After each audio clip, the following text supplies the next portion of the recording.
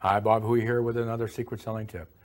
Let's look at how to recognize the driver of the dominant style in a relationship. The driver is very much a problem or goal oriented uh, person. They tend to be forceful, bottom line people who want straight talk and direct answers. So don't waste their time. They can be a bit blunt, direct, and may even interrupt your conversation.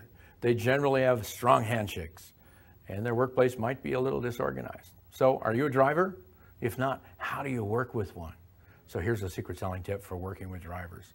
Focus on showing them how they will get results and achieve their goals. Allow them to dominate the discussion, ask their opinion, and encourage them to express their thoughts and ideas. Use you more often in your conversation and minimize small talk as they want to get down to business. Here's a hint maintain a high level of confidence and don't let yourself be intimidated by their direct style. This will help you earn their buy in when you adopt your uh, natural style to more closely align or match your client style, you build rapport quicker.